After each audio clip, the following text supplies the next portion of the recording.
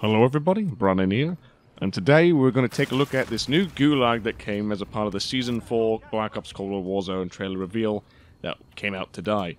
And essentially, it's going to be hijacked. Now, we've kind of seen a common theme with Black Ops Cold War Gulags, especially since the past two have been pretty rubbish, as per the community and myself included.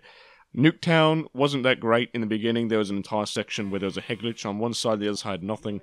Standoff had way too many flaws. I believe a, a 1v1 should really be no verticality. And it seems like this Gulag, as far as I can tell, kind of delivers that, aside from the little hot tub mantle area. The balcony from Black Ops 2's Hijacked is actually completely absent. I think it's replaced by the catwalks that you spectate on.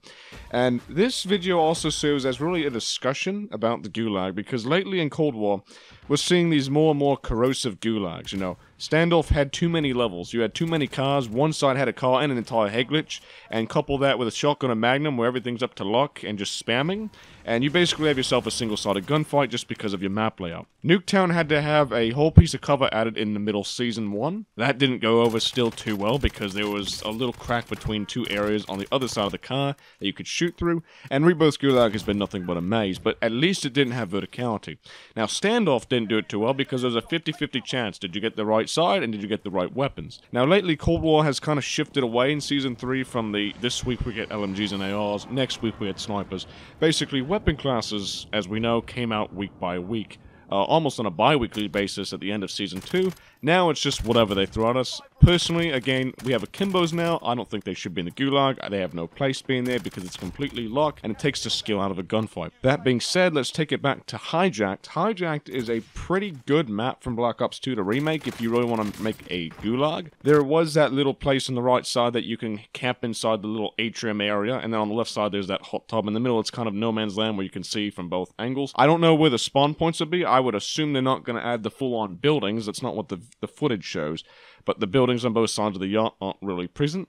And of course, this gulag is because they're adding Hijacked into Black Ops Cold War Season 4, because why wouldn't they just remaster another Black Ops 2 map? This is, I think, the third one they've already done so far. Fourth one, actually, because of Standoff, too. So as far as I can tell, it looks pretty straightforward. I feel like there might be a few head glitching issues with the hot tub. I was talking to Discord group earlier about how in the original Hijacked of Black Ops 2, the balconies that you could head on on top there's a little couch on both sides that you could stand on. You can like if you shimmied your way against the side of where the balcony edge was where the wall was only your helmet would be visible. You couldn't even really see your gun stick through the wall.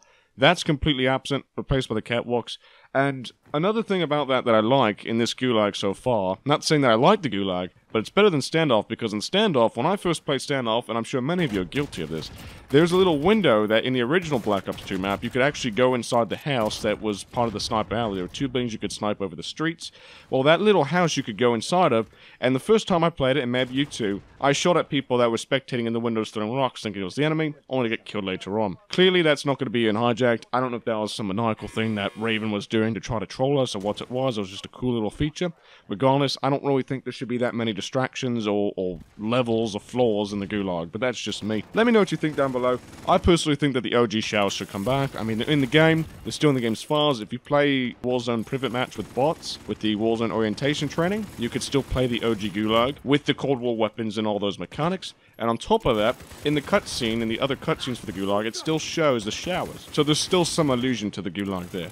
But I don't reckon we're going to see that. That being said, I'm sure Season 5, whatever nonsensical Black Ops 2 map, maybe Grind or something that comes back, God forbid that, we'll have another Black Ops 2 map probably iterated into the mix here as the next season's Gulag. But let me know what you think down below about this Gulag system.